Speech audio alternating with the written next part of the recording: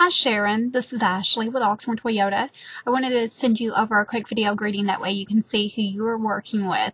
Thank you for talking with me earlier about scheduling a time to turn in your leased vehicle. I went ahead and scheduled it for Monday the 28th at 10 o'clock like we discussed. If you need anything in the meantime, feel free to give me a call. My number is 502-214-7166 or email me back. Thanks. Bye.